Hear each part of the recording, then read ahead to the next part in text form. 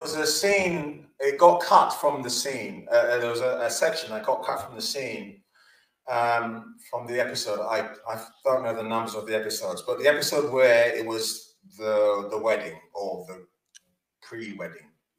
Okay. Um, where his lover is killed. Mm-hmm.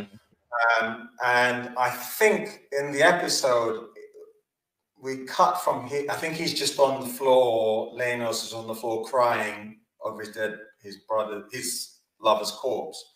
But we actually shot, and it was a suggestion that I made. I said to the director Clare, "I'm going to do this thing." She said, "Yeah, sure."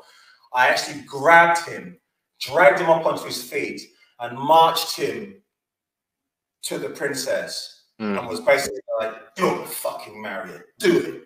Right. But I guess time constraints meant they couldn't use that, and I thought that was the cruelty of Corlys. Yeah. That was the that was the thing of I don't care what you think and what your feelings are. You're going to do this thing because you're going to get us closer to the crown.